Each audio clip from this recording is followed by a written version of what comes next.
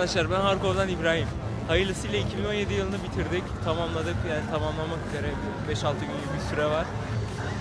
2017 yılı benim için çok güzel geçti. Ee, Ukrayna'dayım. Çok güzel bir yıldı. 2018'de hepimiz ve benim için, herkes için iyi geçmesini diliyorum. Hepinize teşekkürler. Snovim Godam. Öncelikle detay danışmanlığa teşekkürler. Snovim Godam. Bakın.